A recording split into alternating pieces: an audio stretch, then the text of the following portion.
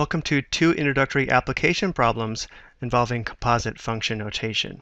A composite function is when we compose or combine two functions.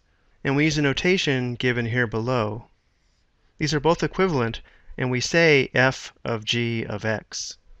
When composing a function in this form, it's probably easier to recognize that to evaluate this composite function, we would first evaluate function g, the inner function, and then once we determine the output of function g, we use this value in function f.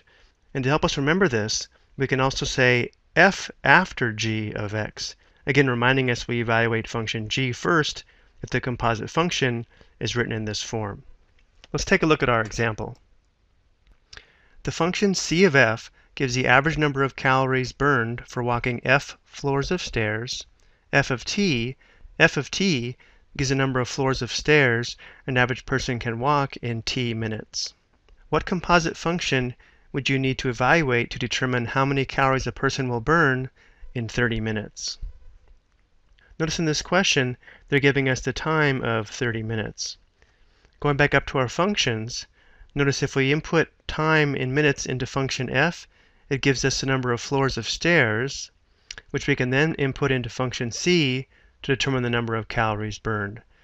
So because we have to evaluate function f of t first, this will be the inner function in our composite function. So we'll have f of t, but t is 30, so f of 30. This will give us a number of floors, which will then input into function c to determine the number of calories burned. So our composite function is c of f of 30, which we can also write as c after f of 30. This would be the required composite function. Let's take a look at a second example. C of t gives the cost of cooling a house in the desert when the average daily summer temperature is T degrees. T of d gives the average daily summer temperature on day D of summer. What composite function would you use to determine the cost to cool a house in the desert on the 28th day of summer? So we want to know the cost to cool a house when we're given it's the 28th day of summer. So if we evaluate T of 28, this will give us the average daily summer temperature on that day. And then once we know the average temperature, we can substitute that into function c to determine the cost of cooling the house.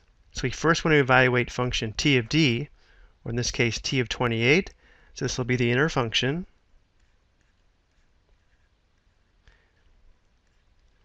The output of this will be the average daily summer temperature, which will be the input into function c, our cost function. So c of t of 28 is our composite function, which we can also write as c after t of 28. These are both equivalent, just written in different composite function notation.